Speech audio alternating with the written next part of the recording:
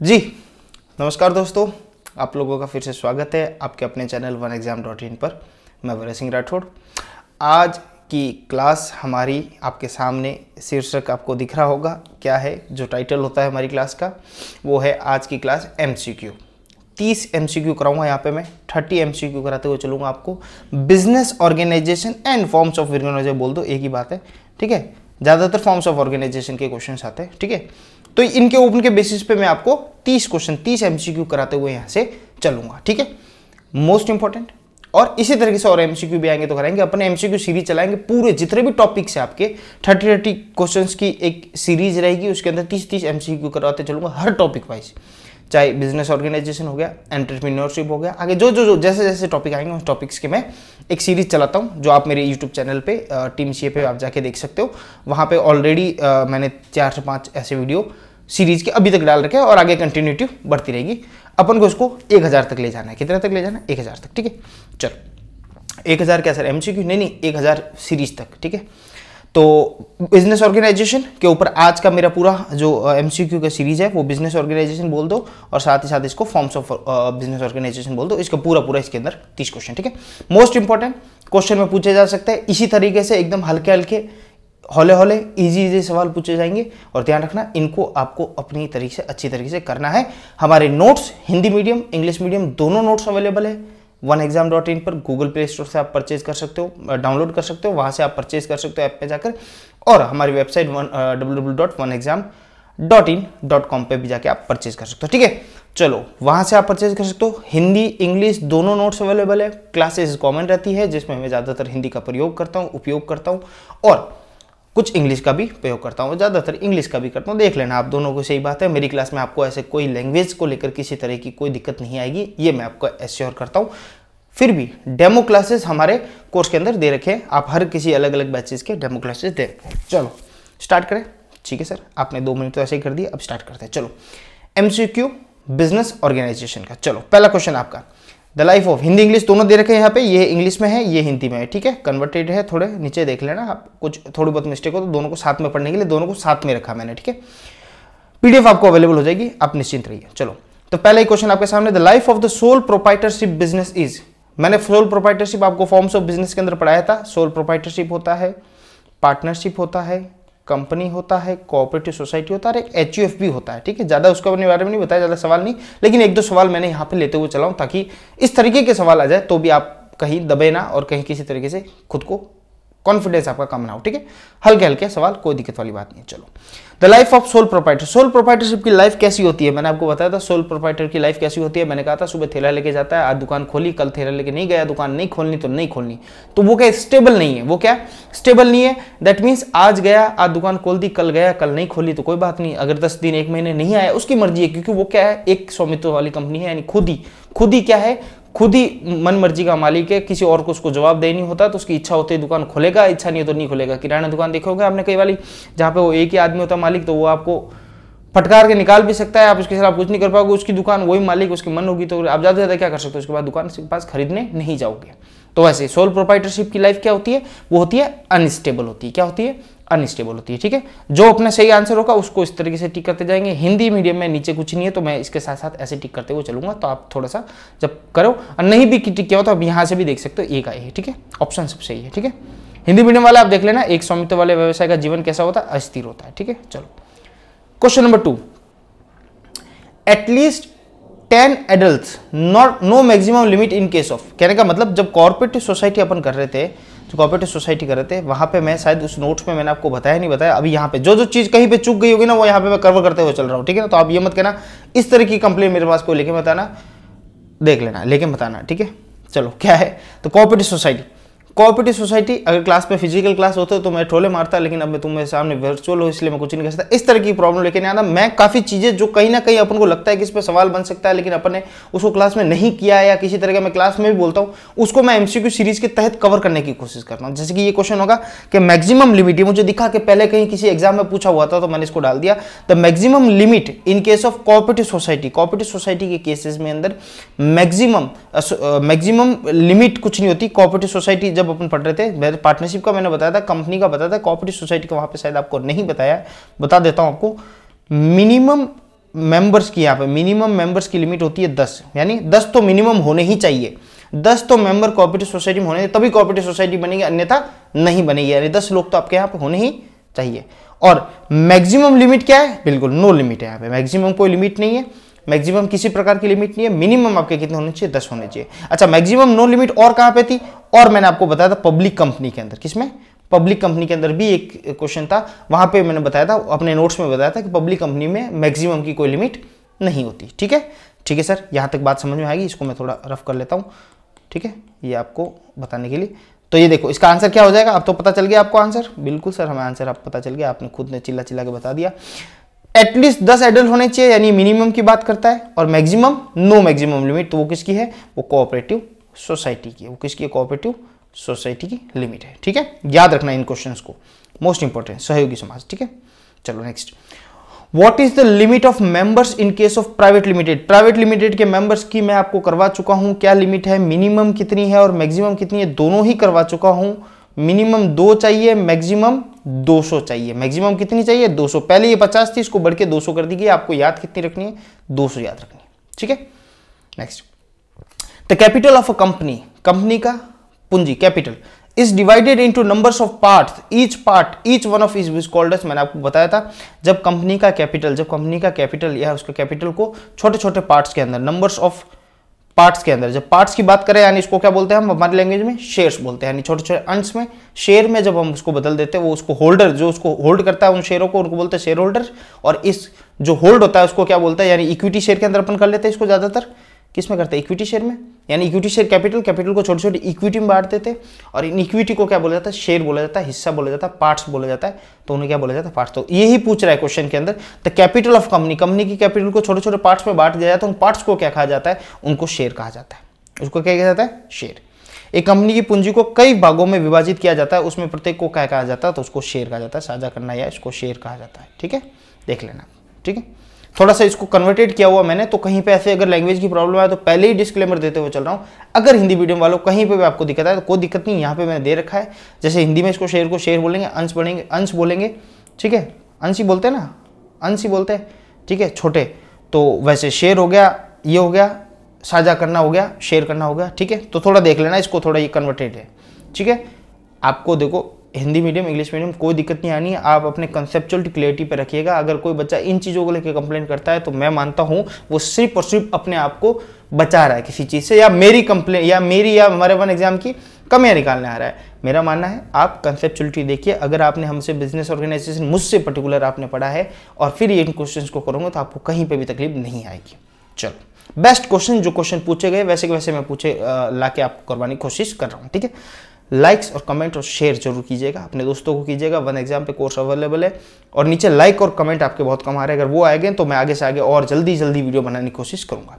The provision of residential accommodation to the members at a reasonable rate is objective of मैंने आपको cooperative society पढ़ाया था। उसमें मैंने आपको बताया था कॉपरेटिव सोसाइटी अलग अलग प्रकार की होती है। कितने प्रकार की होती है? टोटल छह प्रकार की होती है। कितनी?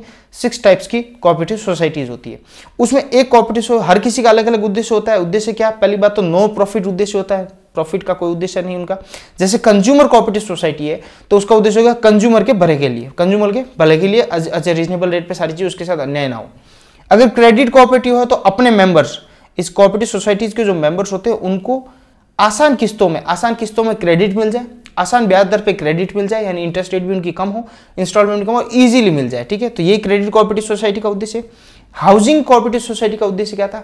यही था, जैसे आवास मंडल और सब होते हैं ना, आपके सिटीज़ में इनका भी उद्देश्य यही है कि अपने जो मेंबर्स है, इनके जो मेंबर्स है, उन मेंबर्स को अफोर्डेबल हाउसिंग फैसिलिटी मिल जाए। अफोर्डेबल हाउसिंग फैसिलिटी यानी उनको अकोमोडेशन रहने के लिए घर अफोर्डेबल यानी उनकी रकम में मिल जाए। हाँ उच्च आय वर्गीय हो, निम्न आय वर्गीय हो डिपेंड करता है अलग अलग कॉपरेटिव सोसाइटी करती है, जिसको लगता है भाई छोटे फ्लैट कम पैसों में करेंगे, कोई बड़े पैसों में भी खर्च कर सकते हैं।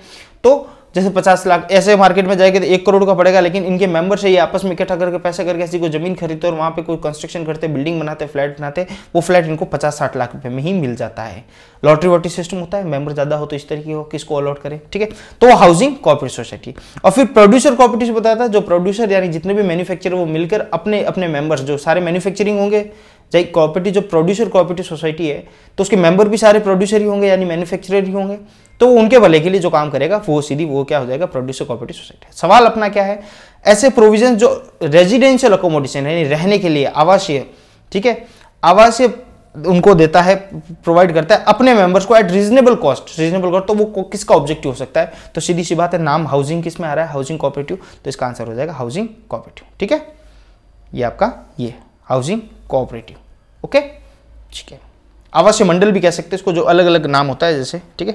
Next the structure in which there is a separation of ownership and management as per law is called ऐसा स्ट्रक्चर जिसमें मालिकाना हक और मैनेजमेंट दोनों, यानी ये ओनरशिप और मैनेजमेंट ये दोनों अलग अलग हो, जिसको बाइफर्फिकेशन डिस्टिकेंट कर सकते हैं अलग अलग कर सकते हैं सेपरेट कर सकते हैं ऐसा लॉ के तहत किसमें है? आपको याद है जब मैंने कंपनी की डेफिनेशन बताया था कंपनी की कैरेक्टरिस्टिक बताया था तो मैंने आपको एक चीज़ बताई थी, वहाँ पर क्या होता है? वहाँ पर होता है सर सेपरेट लीगल एंटिटी एक कंसेप्ट बताया था मैंने आपको सेपरेट लीगल एंटिटी कंसेप्ट बताया था। उसका मतलब ही यही होता है कि कंपनी अलग है उसका मैनेजमेंट अलग है। कंपनी का अस्तित्व अलग है, उसका मैनेजमेंट का अस्तित्व अलग है। यानी कंपनी के सारे राइट्स है, एक सिर्फ़ वो वोट वोट नहीं दे सकती, शादी नहीं कर सकती, इस तरीके के सारे राइट्स है, ठीक है? बाकी सारे राइट्स है उसके बाद। तो separate legal separate legal entity law के तहत किसमें है? हमको ये नहीं पूछा कि इसको क्या कहा जाता है। सवाल ये है कि इन सारे बिज़नेस ऑर्गेनाइजेशन में किसमें है? क्या पार्टनरशिप में है? नहीं पार्टनरशिप सारे लाइबल होंगे अनलिमिटेड लाइबिलिटी होती है। सोल प्रोपाइटर तो अकेला ही है, कभी भी उसको धर के ले जा सकते हैं। सारे बिज़नेस ऑर्गेनाइजेशन में नहीं, जब दो में नहीं है तो सारे में कैसे होगा? तो बचा क्या? कंपनी तो याद रखना, सवाल आते ही धरते आपके दिमाग में क्वेश्चन आंसर आ जाना चाहिए कि यस इट इज़ कंपनी लेकिन ध्यान रखना, सीधे सॉल्व मत करना। आपको थोड़ा सा क्वेश्चन को पढ़ना है। ये हो सकता है इसमें थोड़ा सा in which in which structure the structure in which there is not such facility of separation of ownership या uh, ये नहीं लागू होता जहाँ पे नॉट का प्रयोग हो जाए तो आप गड़बड़ हो जाएगी। आपने धरते ही देते सर ने बोला था कुछ नहीं देखना आनंद फानन आंसर कर देना। आप रुल जाओगे ऐसा नहीं करना है अपन को अपन को पूरा सवाल भी होता लेकिन एक बार क्लिक हो जाना चाहिए कि बस ये कंपनी की बात हो रही है। अब मैं अपने आप को कंफर्म कर लेता हूँ नॉट है यस है क्या है ठीक है? तो इसका आंसर हो जाएगा सिक्स ठीक है? Okay sir seventh which of the following is a characteristic of cooperative cooperative cooperative societies की बात हो रही है, इनमें से कौन सा उसका कैरेक्टरिस्टिक है? कैरेक्टरिस्टिक मतलब क्या उसका पहचान है? The profit are not subject to income tax याद रखना है कॉर्पोरेटिव सोसाइटीज में कभी भी उसका इनकम जो, उसका जो प्रॉफिट होगा, वो इनकम टैक्स के लिए लाइबल नहीं होगा, यानी इनकम टैक्स उसके ऊपर नहीं लगेगा। पहला तो सही है। वन वोट पर शेयर ऐसा नहीं है। वन वोट वन मेंबर है। क्या है? यहाँ पे ध्यान रखना है। आपको कंफ्यूज करने के लिए लिखा गया है। वन वोट वन मेंबर अगर ये होता तो बात सही होती, लेकिन वन वोट पर शेयर नहीं है। Dividend are paid on per share basis नहीं, बिल्कुल। मेंबर के बेसिस पे डिविडेंड दिया जाता है प्रॉफिट में भागा जाता है शेयर के बेसिस पे नहीं होता। And all of the above नहीं हो सकता। द फ़र्स्ट और the right answer profits are not subject to अच्छा ये राइट कर रहा हूँ तो यहाँ पे ऐसे क्लिक आ रहा है तो उसका मतलब ये मतलब ना ये गलत है, ठीक है ना? वो सही है, ठीक है? मैंने, मेरे पास ऐसी फैसिलिटी है तो मैंने उसी से काम किया आपके लिए, ठीक है? ये इसका पहला, ठीक है?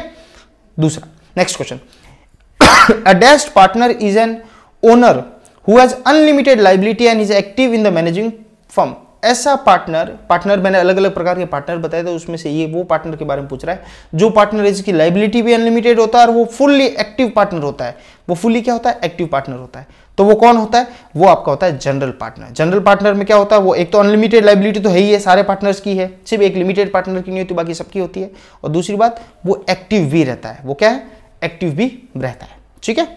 ठीक है सर सामान्य सहभागी। ठीक है next the form of business organisation that has the largest sale volume in the is the ऐसे बिज़नेस ऑर्गेनाइजेशन वो कौन सा फॉर्म ऐसे सवाल कई बार कई उठा के देख लेना, पुराने पेपर वहाँ पे पूछे गए और मैं आपको बताता हूँ, वापस आपको इनको समझना है। ऐसा कौन सा फॉर्म ऑफ़ बिज़नेस ऑर्गेनाइजेशन है जिसमें सबसे ज़्यादा लार्जेस्ट सेल वॉल्यूम पाई जाती है? सबसे ज़्यादा सेल वॉल्यूम पाई जाती है। सबसे ज़्यादा से वॉल्यूम पाई जाती है तो वो होता है आपका कॉरपोरेशन किसका होता है? कॉरपोरेशन। कॉरपोरेशन यानी कॉरपोरेट। कॉरपोरेट मतलब कंपनी। ठीक है? यहाँ पे सबसे ज़्यादा क्या होता है? लार्ज। आपको पता है सबसे ज़्यादा सेल वॉल्यूम करने के लिए आदमी, जब भी आदमी की तरक्की होती है तो धीरे धीरे पहले तो खुद सोल प्रॉफिट होता है, फिर उसको पैसों की ज़रूरत है पार्टनरशिप में आता है, फिर उसको जैसे लगता है, वो क्या करता है? कंपनी के रूप में अपने आप को रजिस्टर्ड कराता है और वो कंपनी कॉर्पोरेशन के रूप में चला जाता है। तो इसका आंसर हो जाएगा निगम। ठीक है? Next in case of this registration is compulsory किसके केस में रजिस्ट्रेशन कंपलसरी है? क्या सोल प्रोपाइटर के लिए रजिस्ट्रेशन कंपलसरी है? बिल्कुल नहीं है। सोल प्रोपाइटर थे के आया थेलाउटा के गया, कोई रजिस्ट्रेशन कहीं करवाने की ज़रूरत नहीं है। क्या पार्टनरशिप के लिए रजिस्ट्रेशन कराना ज़रूरी है? बिल्कुल नहीं है। पार्टनरशिप के लिए रजिस्ट्रेशन कराना कंपलसरी नहीं है, करवा सकता है। कोई ज़रूरी कोई ज़ोर ज़बरदस्ती नहीं करवा सकता है। नन ऑफ़ दिस ऊपर लिख दिया गया है, उसको ऐसे करना था, लेकिन चलो कोई बात नहीं। और company is the right answer is company company के केस में कंपनी वही मानी जाएगी जो कंपनीज़ एक्ट 2013 या इससे पहले इससे पहले कौन सा था? 1956 उसमें रजिस्ट्रेशन होगा। रजिस्ट्रेशन करवाना ज़रूरी है। उस रजिस्ट्रेशन को क्या कहा जाता है? उसको इनकॉर्पोरेशन ऑफ़ कंपनी कहा जाता है। याद रखना, सवाल ऐसा भी एमसीक्यू आ सकता है कि कंपनी के रजिस्ट्रेशन को क्या कहा जाता है? तो वो कहा जाता है इनकॉर्पोरेशन ऑफ़ कंपनी ठीक है? ओके ठीक है तो इसका आंसर आ गया कंपनी याद रखना कंपनी पार्टनरशिप में मैंडेटरी नहीं है करवा सकता है। ऑप्शन है पार्टनरशिप एक्ट 1932 के अंदर जाके करवा सकता है, लेकिन ज़रूरी नहीं है। एक और ध्यान रखना यहाँ पे। चलो आगे बता दूँगा। चलो, ठीक है ठीक है। चलो next a partner whose association with the firms is unknown to the general public ऐसा पार्टनर जिसको नॉर्मल बाहर मार्केट में लोगों को पता ही नहीं है कि इसका पार्टनर है। एकदम चुपचाप साइलेंटली एकदम सीक्रेटली तो पार्टनर कौन सा हो गया? सर आपने खुद ने बोल दिया। देखो एक्टिव पार्टनर तो पता ही होगा। स्लीपिंग पार्टनर मार्केट में तो लोगों तो पता ही होता है पार्टनर है, लेकिन स्लीपिंग है, काम कुछ नहीं करता। नॉमिनल पार्टनर तो वही हो गया जिसका भाई पैसा वैसा लगा हुआ, कोई दिक्कत नहीं। सीक्रेट पार्टनर ऐसा हो गया, जो क्या हो मार्केट में किसी को भी, यानी जनरल पब्लिक को पता नहीं होता और वो पार्टनर होता है गुप्त साथी, नाम से पता चल रहा है। Next profit do not have to be share this statement refer to ऐसा बिज़नेस ऑर्गेनाइजेशन ऐसा संगठन जहाँ पे प्रॉफिट को बांटा नहीं जाता प्रॉफिट को शेयर किया नहीं जाता एक एक को देखते हैं। पार्टनरशिप में शेयर किया जाता है, बिल्कुल किया जाता है sir joint Hindu family business यानी H business Hindu undivided family business के अंदर बांटा जाता है, बिल्कुल बांटा जाता है। फैमिली के दूसरे लोगों में बांटा तो जाएगा आखिर सारे लोग मिलकर काम कर रहे तो। सोल प्रोपाइटर छोड़ो इसको, ये सही आंसर है वैसे तो। कंपनी कंपनी में बांटा जाता है, बिल्कुल। शेयर होल्डर में डिविडेंड के रूप में प्रॉफिट बांटा जाता है वहाँ पे। एक सोल प्रोपाइटरी ऐसा वो बांटे तो बांटे किसको? वो खुद ही क्या है? सब चीज़ों का एक ही मालिक है, वो बांटे तो बांटे किसको? तो एकल स्वामित्व वाला बिज़नेस ऐसा होता है जहाँ पे प्रॉफिट नहीं बांटा जाता। था आंसर इज़ एकल स्वामित्व। The karta in the joint Hindu family business has देखना, समझना। ये एचयूएफ है हिंदू अनडिवाइडेड फैमिली होता है, हिंदू अनडिवाइडेड फैमिली यानी वो सारी फैमिली जैसे इसका वीडियो भी मेरे अवेलेबल है यूट्यूब चैनल पर आप जाके देख सकते हो। फॉर्म्स ऑफ़ ऑर्गेनाइजेशन के और भी वीडियो मेरे पास अवेलेबल है। एच हिंदू अनडिवाइडेड फैमिली का मतलब हुआ ऐसी फैमिली जो जिसका फैमिली बिज़नेस हो, जिसका क्या हो फैमिली बिज़नेस हो, ठीक है? पारिवारिक व्यवसाय हो, पारिवारिक व्यवसाय का मतलब हुआ, वो क्या करते हो बिज़नेस ही उनका जैसे कि खाती है कोई तो खाती वो, उनके बाप दादा भी खाते थे, वो भी थे आगे से आगे चाहे एक आपके, आप राजस्थान जी के पर टेराकोटा का है, कुछ भिलवाड़ा में कहीं पे है तो उनके मतलब बिज़नेस है फैमिली बिज़नेस है, वो उसके बच्चा, उसका बच्चा, उसका ऐसा मतलब उसमें माहिर भी होता है। कालबेरिया हो गया, इस तरीके की जो आर्ट्स एंड कला की चीज़ें होती हैं, और ज़्यादातर ये भी हो सकती है, और भी कई होते हैं, जैसे कि आप किराना की दुकान में जाओगे तो ज़्यादातर ये होगा किराने की दुकान में, आपको दिखेगा नाम भवरलाल एंड सन्स एचयूएफ तो इस तरीका मतलब वो भवरलाल एंड सन्स एचयूएफ का मतलब वो भवरलाल जी, उनके फादर, उनके भवरलाल जी लगभग दादा होते हैं। उनके बेटे, उनके पड़पोते सारे उसी बिज़नेस के अंदर जुड़ गए।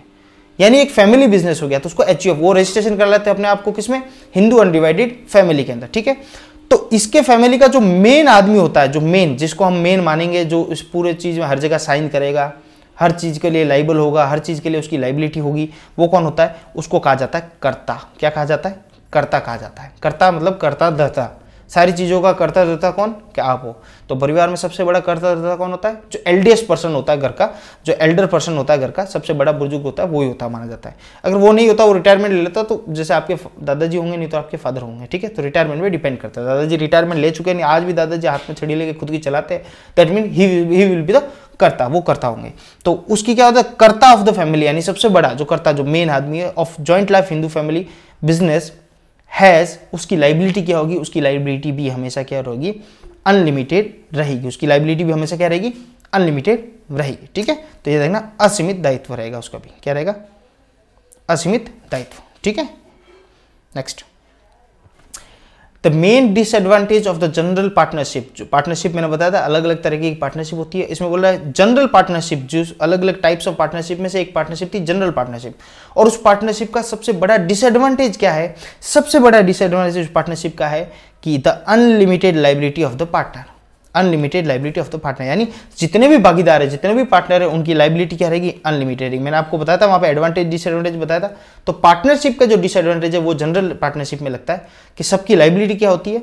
असीमित होती है अनलिमिटेड होती है और उनको घर से भी लाके पे करना पड़ेगा तो पे करना पड़ेगा। ठीक है? तो ये इसका आंसर है A next the simplest form of business organisation ownership business ownership is a ठीक है? Form of business ownership is ये सवाल कई बार पूछा गया इंपॉर्टेंट सवाल है। बहुत सिंपल सवाल है, देख लेना, इतना इसको रटने की ज़रूरत नहीं, बहुत सिंपल से। कि सबसे सिंपलेस्ट फॉर्म ऑफ़ ओनरशिप कौन सी होगी? सिंपलेस्ट फॉर्म ऑफ़ ओनरशिप आप सब समझते हो कौन सी होगी? एक ही आदमी घर से थैला लेके निकला, ना तो किसी को प्रॉफिट बांटना, ना किसी से पूछना, चाबी कहाँ है, खुद उठाई, खुद गया, खुद धंधा किया, आज नहीं करना तो नहीं किया, घर आ गया। ऐसा बिज़नेस कौन सा हो सकता है? तो वो है सर स्वामित्व वाला, एक स्वामित्व वाला बिज़नेस प्रोपाइटरशिप ठीक है? सिंपल से क्वेश्चन कई बार पूछा हुआ। और हार्डेस्ट बिज़नेस ओनरशिप के लिए कौन होगा? तो वो कॉर्पोरेशन होगा या कंपनी कह दो, ये हो जाएगा। ठीक है? कंपनी कह दो या कॉर्पोरेशन कह दो। ठीक है? उल्टा।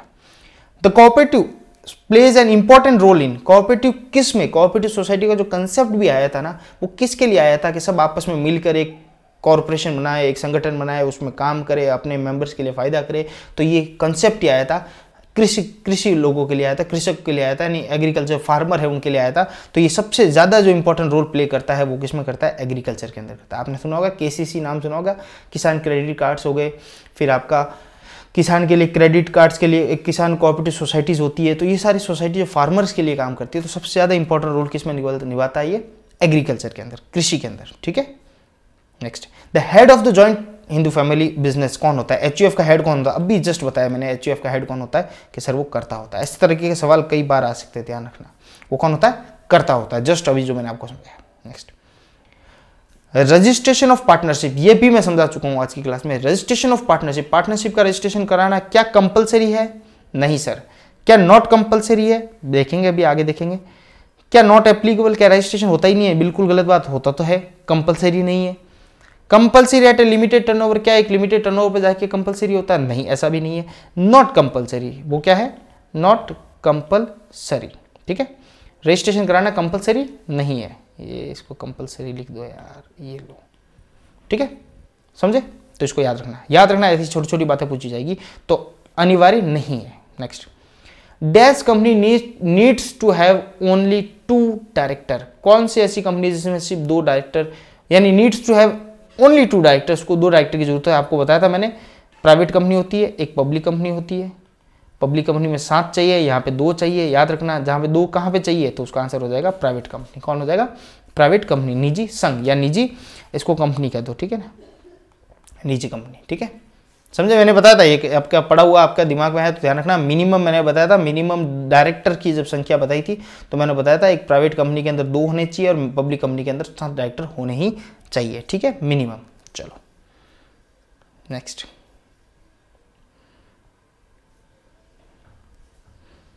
ये गया नाइनटीन नाइनटीन का क्या लिखा आपने? प्राइवेट कंपनी हाँ सही है, कोई दिक्कत वाली बात नहीं है, ठीक है? ठीक है? तो यहाँ पे हो गया था, ठीक है? चलो नेक्स्ट यहाँ पे कंपनी टू डायरेक्टर याद रखना, ये सात ये मेंबर्स थे, ठीक है ना? ये मुझे यहाँ पे थोड़ा कंफ्यूजन हो गया. डायरेक्टर की बात करें अपन तो कंपनी ओनली टू डायरेक्टर तो ध्यान रखना, जब डायरेक्टर की बात करेंगे ना, इसको मैं थोड़ा सा साफ़ कर लेता हूँ. या मेंबर्स की बात करेंगे, तब तो याद रखना प्राइवेट कंपनी और ये पब्लिक कंपनी है ठीक है? मेंबर्स की बात करेंगे, यहाँ पे ऐसे लिख देता हूँ मेंबर्स ठीक है? जब मेंबर्स की बात करेंगे तो मेंबर्स में यहाँ पे कितने होने चाहिए? दो मिनिमम होने चाहिए आप कितने होने सात। ये मिनिमम की बात है, ठीक है? मिनिमम और मैक्सिमम की बात करेंगे तो कितने होने चाहिए? यहाँ पे 200 सौ, यहाँ पे नो लिमिट, ठीक है? कोई लिमिट नहीं है। और जब डायरेक्टर की बात करेंगे तो यहाँ मिनिमम कितने होने चाहिए? मिनिमम यहाँ होने चाहिए दो और यहाँ होने चाहिए तीन। एक ज़्यादा बस, कितना? तीन, ठीक है? सात तो ये मेंबर्स है, ठीक है? याद रखना। चलो next the company does not invite public to subscribe to its share ठीक है? चल रहा है क्लास हाँ। Company does not invite the public to subscribe its share capital कौन सी ऐसी कंपनी है जो पब्लिक को इन्विटेशन नहीं करेंगे कि हमारे शेयर को सब्सक्राइब करे? तो यार ना पब्लिक कंपनी का मतलब ये है कि पब्लिक का इन्विटेशन होगा पब्लिक से शेयर लिया जाएगा पब्लिक से मतलब पैसा लिया जाएगा शेयर पब्लिक से पैसा इन्विटेशन दे सकते हैं पब्लिक को कि आप हमारी कंपनी के अंदर पैसा लगाए। लेकिन प्राइवेट कंपनी ऐसा नहीं कर सकती। प्राइवेट कंपनी अपने ही जो डायरेक्टर और जो उसके मेंबर है शेयर होल्डर उन्हीं से लेगी। तो याद रखना, इसका आंसर भी क्या हो जाएगा? Private company private company private company does not invite public to subscribe its share capital ठीक है? याद रखना इसको। निजी संघ next the maximum number of partners allowed in the banking business याद रखना। जो क्वेश्चन जो मैंने नोट्स में नहीं भी डाले, वो यहाँ पे मैं कवर कराते हुए चल रहा हूँ कि maximum number of partners allowed in banking business partners banking business maximum partners कितने हो सकते हैं? वैसे वैसे पचास हो सकते हैं। मैंने आपको बताया था वहाँ पे कंपनीज़ एक्ट का भी बताया था, पचास हो सकते हैं। लेकिन बैंकिंग बिज़नेस के अंदर कितने होंगे? बैंकिंग बिज़नेस के अंदर कितने होंगे? दस। कितने हो जाएँगे? Ten. The answer is ten. ठीक है? दस। दस से ज़्यादा नहीं होगा। तो क्वेश्चन कंफ्यूज करने के लिए पूछा हुआ है कि मैक्सिमम नंबर ऑफ़ पार्टनरशिप आते ही आपके दिमाग में आ जाएगा मैक्सिमम नंबर तो मुझे याद है सर, पचास होते हैं। लेकिन बैंकिंग बिज़नेस के अंदर कितने होंगे? तो बैंकिंग बिज़नेस के अंदर कितने होंगे? दस ही होंगे। कितने होंगे? सिर्फ़ मात्र दस। ठीक है? याद रखना। हिंदू, यहाँ पे मैं एक चीज़ बताने वाला था, हिंदू सक्सेशन एक्ट देखो एक क्वेश्चन आया था, मैंने डाल दिया ताकि बाई चांस ऐसा सवाल आ जाए आपके दिमाग तो हिंदू सक्सेशन एक्ट कौन से एक्ट कब पारित हुए थे? उनकी डेट्स क्या है? ये आप याद रखना ज़रूर। जो एक्ट आपके सिलेबस के अंदर है, उनको तो याद रखना ही रखना है कि हिंदू सक्सेशन एक्ट कब पारित हुआ था? ये 1956 का है। तो हिंदू सक्सेशन एक्ट 1956 है आंसर तो ये है। ठीक है, यहाँ पे बात खत्म। इनकी डेट भी याद रखना कब हुए थे। दूसरी बात, जैसे पार्टनरशिप है पार्टनरशिप एक्ट 1932 है, याद रखना। इंडियन कॉन्ट्रैक्ट एक्ट है, ठीक है? अट्ठारह वाला, वो याद रखना आप। फिर आपके सामने है, जैसे कि कंपनीज़ एक्ट है 2013 ऐसे सब ये सब याद रखना। ये पीछे वाला सन है ना, ये याद रख लेना आप, और कुछ नहीं, ठीक है? आपके लिए इजी रहेगा अच्छा रहेगा, सवाल आ सकता है इस तरीके हंड्रेड परसेंट एक दो सवाल तो आएगा। आएगा किसका, इसका नहीं कह सकते अपन। इतना तो होता तो पेपर मेरे पास ही होता, लेकिन आएगा पक्का, ऐसा सवाल एक दो तो पक्का ही पक्का आएगा, ठीक है? चलो next every partner is both an agent and principal इस पे तो मैं करीबन अपनी क्लास का दस मिनट पूरा पूरा इन्वेस्ट कर चुका हूँ कि एक आदमी एवरी पार्टनर हर पार्टनर एक दूसरे का एजेंट भी होता है और एक दूसरे का प्रिंसिपल भी होता है। Identify the characteristic of the partnership referred is year तो वो उसको क्या कहा जाता है? यानी एक ही आदमी इसका, ये एक्स है, ये वाई है तो ये इसका एजेंट भी है, ये इसका प्रिंसिपल भी है। ठीक है? यानी वो उसका एजेंट भी होता है प्रिंसिपल इसको बोला जाता है म्यूचुअल एजेंसी क्या बोला जाता है इसको? म्यूचुअल एजेंसी पारस्परिक मध्य, ठीक है? तो ये इसका आंसर है। और ये सवाल आ रखा है, आपके एग्ज़ाम के अंदर आ रखा है। अभी भी लिखा के ले लो, पुराने खोल के देख लेना। म्यूचुअल एजेंसी का सवाल आ रखा है तो ध्यान रखना। तो ये चीज़ें मैं बता चुका हूँ कि प्रिंसिपल एक पार्टनर एक दूसरे के बीच में जो रिलेशन होता है, उनको म्यूचुअल एजेंसी रिलेशन कहा जाता है। क्यों? क्योंकि वो उसका एजेंट भी होता है, उसके बिहार पे काम भी करता है, और वो कोई काम करता है तो दोनों इक्वली लाइबल होते हैं। एक दूसरे पार्टनर कोई भी काम करेगा, वो लाइबल होगा। समझो मेरी बात? यानी ये मिस्टर एक्स है, ये वाई है, और ये जेड है। अब एक्स ने कोई काम किया है तो ये दोनों भी लाइबल होंगे, और जेड ने कोई काम किया तो एक्स और वाई भी लाइबल होंगे। यानी एक्स एक बार तो एजेंट का रूप भी काम करता है एज ए एजेंट भी काम करता है इन दोनों का, और एज ए प्रिंसिपल भी काम करता है। मेरी क्लास के अंदर मैंने पूरी बात अच्छी तरीके से समझा रखी है। ठीक है? ओके सर इसका आंसर हो गया A next twenty four question number अब prospectus is issued by prospectus होता क्या है? प्रोस्पेक्टस कुछ नहीं है, जब कंपनी पब्लिक जब आप और हम लोगों के पास शेयर के लिए गुहार लगाती है कि भाई आपको पैसा चाहिए, हम कंपनी को पैसा चाहिए कंपनी शेयर इशू करती है। और हमें जो पैसा डालने के लिए, जब कंपनी नया शेयर इशू करती है, नया शेयर इशू करती है, नए शेयर मार्केट में इशू करती है कि भाई हमारा शेयर इशू हो गया, आपको खरीदने तो खरीद लो, हमें पैसे की ज़रूरत है इतनी चीज़ों की। तो वो क्या करती है? इन्विटेशन देती है। इन्विटेशन टू पब्लिक पब्लिक को इन्विटेशन देती है। अपन देते हैं ना कंकुपत्री कार्ड, ब्याह में, शादी में तो वही इनविटेशन कंपनी देती है कि भाई शेयर बट रहे हमारे, आप पैसे लो और शेयर ले लो। तो वही वाली चीज़ अक्षय कुमार ने उस पिक्चर में दिया था खिलाड़ी में, कि भाई कंकुपत्री बांटी थी सौ सौ रुपये लेके आइयो, खाना खा के जाइयो, वो वाली चीज़। तो सौ सौ रुपये लेके आइयो मतलब शेयर खरीदियो और खाना खा के जाइयो। उसके दिमाग में था, दस हज़ार कार्ड बांट लूँगा, अपने सौ रुपये लेके आइयो, कितना आ जाएगा? एक लाख रुपया, उसको दे देंगे, ठीक है? तो वैसे इनविटेशन टू पब्लिक क्या होगा? ये बोला जाता है प्रोस्पेक्टस कंपनी की भाषा में इसको बोला जाता है प्रोस्पेक्टस क्या बोला जाता है? प्रोस्पेक्टस ठीक है? अब हिंदी में देख लेना विवरणिका बोला जाता है इसको, ठीक है? विवरणिका बोला जाता है प्रोस्पेक्टस याद रखना, ठीक है? हिंदी वीडियो वाला आपकी इंग्लिश भी अच्छी कर दूँगा मैं। इशूड बाई अच्छा ये कौन इशूड करता है? प्रोस्पेक्टस क्या ये पब्लिक कंपनी प्राइवेट कंपनी कर सकती है। जब प्राइवेट कंपनी पब्लिक से पैसा ही नहीं ले सकती तो प्रोस्पेक्ट इशू करके करेगी क्या? कंगुपत्री देगी किसकी? जब जब सरकार ने कह दिया कोविड चल रहा है, आप बाहर के लोगों को बुला ही नहीं सकते तो कंगुपत्री दे ही नहीं सकती। पब्लिक कंपनी तो बिल्कुल कर सकती है। पब्लिक एंटरप्राइजेस कर सकती है क्या? पब्लिक एंटरप्राइजेस करके कोई कंसेप्ट ही नहीं है। पब्लिक कंपनी सकती है, लेकिन इसका मोस्ट अप्रोप्रिएट आंसर क्या हो जाएगा?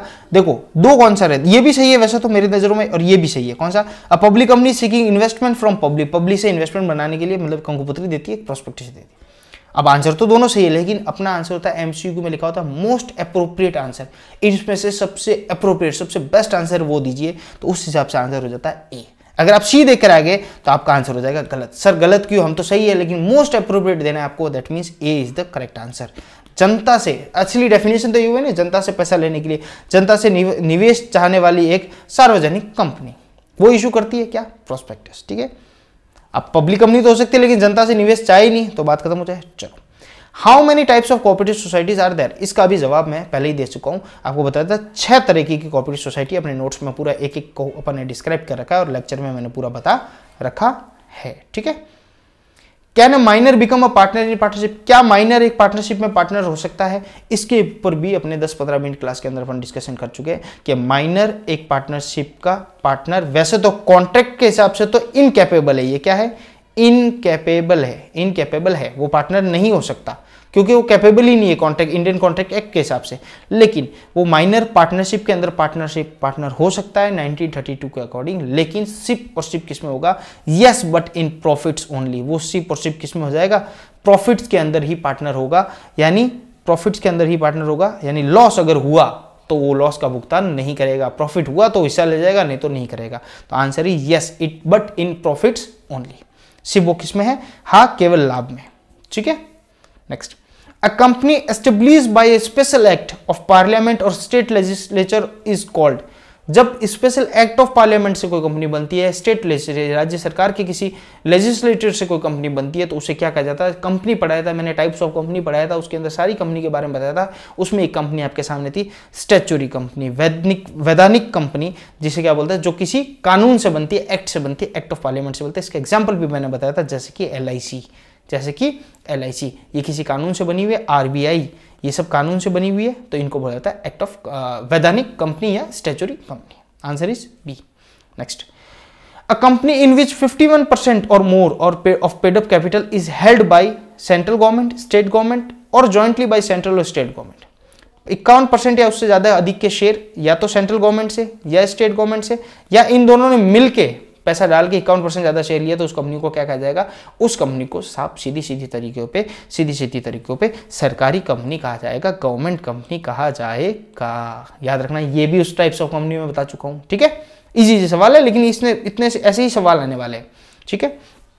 Industries engage in the discovery and extraction of natural resources are knows ऐसी इंडस्ट्रीज़ जो क्या हो, प्राकृतिक संसाधनों की खोज और निष्कर्ष के लगे उद्योगों में कहा उस उस इंडस्ट्री को क्या जाता है, उस उद्योग को क्या कहा जाता है, जो कि नेचुरल रिसोर्सेज का एक्सट्रैक्शन और डिस्कवरी यानी इनकी एक्सट्रैक्शन यानी इनकी खोज करना या इनको बाहर निकालना मतलब एक्सट्रैक्शन करना, ऐसी इंडस्ट्री को क्या कहा जाता है तो मैंने इंडस्ट्रीज़ के टाइप के अंदर बिज़नेस ऑर्गेनाइजेशन में आपको बताया था कि अलग अलग प्रकार की इंडस्ट्री होती है, कुछ जेनिक जेनेटिक इंडस्ट्री होती है, कुछ मैन्युफैक्चरिंग इंडस्ट्री होती है, कुछ कंस्ट्रक्शन इंडस्ट्री होती है, कुछ एक्सट्रैक्टिव इंडस्ट्री होती है। नाम से पता चल रहा है एस्ट्रेन यानी खनन उद्योगों को एक और ध्यान रखना बात, जब इंग्लिश मीडियम आपको कर रहा हो और जैसे एक्सट्रेक्टिव आ गया ये आपके सामने, अब आपको उसका समझ में नहीं आ रहा कि इसका करे क्या तो आप हिंदी का ऑप्शन भी बाई लैंग्वेज हाथों हाथ आप हिंदी में करके देख लीजिए। मैं तो एग्ज़ाम देता हूँ, ऐसे करता हूँ, हिंदी में करके देख लेता हूँ। जैसे खनन उद्योग दिमाग में कट खत्म हो गया, खोज और ये करने वाले संसाधन कौन करता है, खनन नहीं होता है तो इसका आंसर तो ये हो गया। लेकिन इंग्लिश में जब एक्सट्रेक्टिव याद नहीं आया एक्सट्रेक्टिव के भाई ये क्या था, ऐसा था, वैसा था तो आपको यहाँ से आए थे ऐसा कैसा हिंदी मीडियम अगर कहीं पर भी ऐसा कोई भारी शब्द आ जाए आपका हिंदी में और आप लोगों अब इसका क्या होगा? जैसे निष्करण ये, ठीक है? ये आ गया, ठीक है, कर्षण। तो आपके दिमाग में क्या एक्सट्रैक्शन एक्सट्रैक्शन थोड़ा सा दिमाग में आ सकता है नेचुरल रिसोर्सेज यानी खनन इनकी खोज के लिए, ठीक है, बाहर निकालने के लिए। The last question of the class activities which facilities the trade are called मैंने ट्रेड पढ़ाया था ट्रेड की और भी टाइप्स ऑफ़ ट्रेड भी पढ़ाए थे, कितने प्रकार के होते हैं? तो ऐसा फैसिलिटी ऐसी एक्टिविटीज़ जो फैसिलिटी करती है ट्रेड का यानी ट्रेड के खुद मुख्य ट्रेड नहीं, लेकिन इसको फैसिलिटीज़ देती है। जैसे कि जैसे कि वेयर हाउसिंग देना सर एडवर्टीजमेंट देना, ठीक है? ट्रांसपोर्टेशन देना। ये सारी क्या है? ये सब फैसिलिटीज़ है। इसको सही लिखूँ क्या? वैसे तो मैं इसको सब मिटा के दूँगा आपको उसके अंदर वेयर हाउसिंग नोट्स दूँगा ट्रांसपोर्टेशन ठीक है? एडवर्टाइजिंग ये सब क्या है? मार्केटिंग ये सब क्या है? ट्रेड की सहयोगी सर्विसेज़ है, ठीक है? सहयोगी, यानी इसको और अच्छी तरीके से फैसिलिटेट करने के लिए जो सर्विसेज़ होते हैं, उन्हें क्या बोला जाता है? उन्हें बोला जाता है एड्स टू सर्विसेज़ क्या बोला जाता है? एड्स टू सर्विसेज़ यानी व्यापार के लिए सहायता करने वाली। देखो, हिंदी में एकदम क्लिक हो जाएगा, फट देगा एड्स टू सर्विस ट्रेड याद भी नहीं रहेगा और यहाँ पे आपको याद आ जाएगा। तो आंसर इज़ डी ठीक है? तो आज की क्लास के तीस क्वेश्चन कंप्लीट कर लिए। 34 मिनट हो गए 35 लास्ट मिनट हो जाएँगे। ठीक है? तो आई होप मैंने जितने भी क्वेश्चन कराए, पहली बात तो इंपॉर्टेंट क्वेश्चन है इजी क्वेश्चन है, कोई दिक्कत वाली बात नहीं है, और आई होप मेरी क्लास आपके लिए यूजफुल है। अगर यूजफुल रहे तो भैया प्लीज़ लाइक और जो नीचे शेयर और सब्सक्राइब कीजिएगा तो दूसरी फैकल्टीज भी है ना, वो उससे मोटिवेट होगी और आपके लिए वो भी अपने अपने लेक्चर्स के अंदर क्या लाएगी एमसीक्यू सीरीज़ लेके आएगी। तो बहुत बहुत धन्यवाद, आपका प्यार सदैव बना रहे, और ऐसा ही आप लाइक और सब्सक्राइब करते रहिए चैनल को वन एग्ज़ाम डॉट इन को। धन्यवाद।